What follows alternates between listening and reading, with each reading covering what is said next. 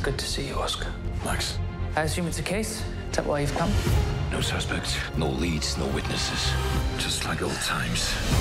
I'm trying to build a profile of the killer, A profile. a psychological picture. Too many pieces don't fit. What do you see, Max? This isn't just a murder. He thinks I can identify him.